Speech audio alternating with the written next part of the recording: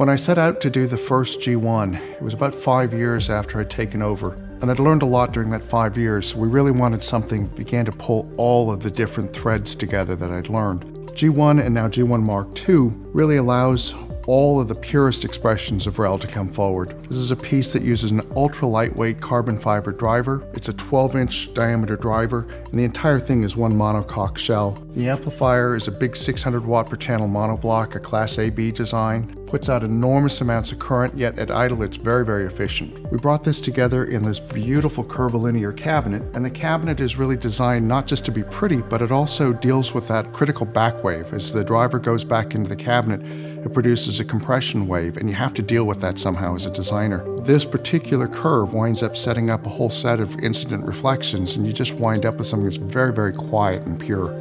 When we set out to do a design, we always focus on getting the driver right. My old mentor Franco Serblin taught me that if you get the driver right, everything else in a project becomes very, very simple. And he's right. When we're dealing with a subwoofer, we're talking about immense amounts of force. So this is something that needs to be able to travel two inches forward and back in order to really supply the energy, the air movement that people demand of big pieces.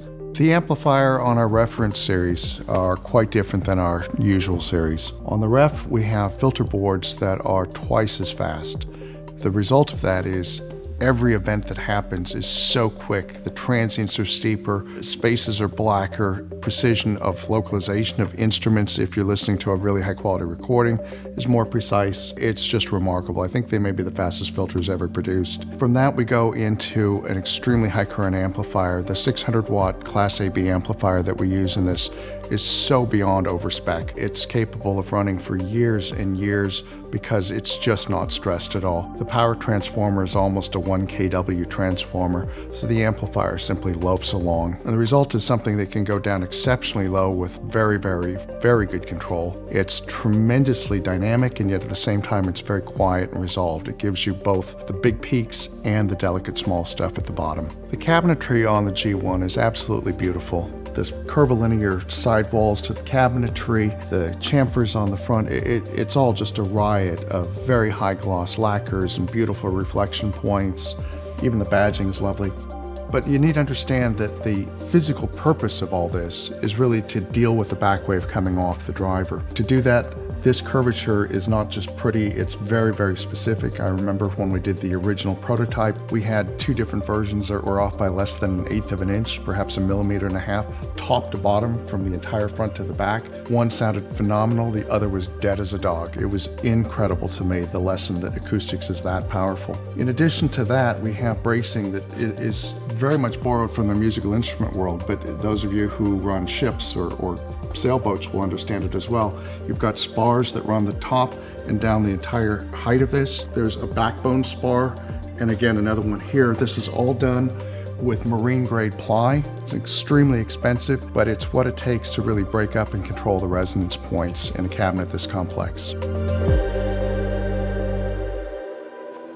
As you can see, the G1 Mark II comes normally with these beautiful aluminium feet. However, there's an option to stack these, and when you do, you must remove the feet and you reuse the supplied hardware and go to full stacking rails underneath. So again, the feet come off, front to back curvilinear um, rails come with a special kit, and it both stabilizes the rail and also allows it not to scratch the unit that is below. So the purpose to stacking is interesting. We typically stack in um, three or more.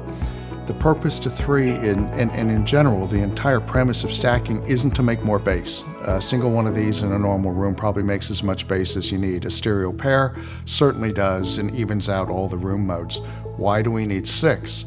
The answer is very simple. Bass doesn't exist on the floor in real life bass exists in three-dimensional space. So it doesn't matter whether it's a special effect like a hand grenade being thrown into your foxhole in a movie, or if it's a big piece of music, bass exists dimensionally and vertically very specifically. So when that, when that hand grenade blows up, it doesn't just ripple along the floor, it expresses outward in a vertical dimension as well. So the G1 Mark II has a lovely remote control that was designed just for this unit. We offer all the controls that it would normally be on the rear panel and we do it in such a way that it feels exactly like rear panel controls. So they've got these beautiful little individual detents for gain, for crossover, for point one gain. And we also allow you to adjust phase from the listening position. And the reason that's useful is phase at the listening position can be a little different than it is in other places in the room. And what's important is that you be able to immediately identify which direction 0 or 180 is louder the, the direction that's louder is louder because it's actually doing exactly what your speaker is doing. The two couple up and you get a louder output.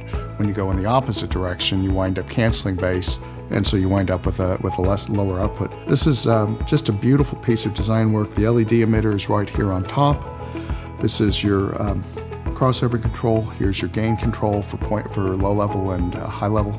And your point one LFE is over here. Allows you to dial everything in and be done with. It's a great piece. And it also it's just a lovely feel. It fits perfectly in the palm of your hand, It sort of snuggles down in there, and it's very comfortable to use. So G1 Mark II was developed after we'd actually finished off the number 25. We'd learned all these fantastic lessons on the 25 that were going to be our jumping off point for the next generation.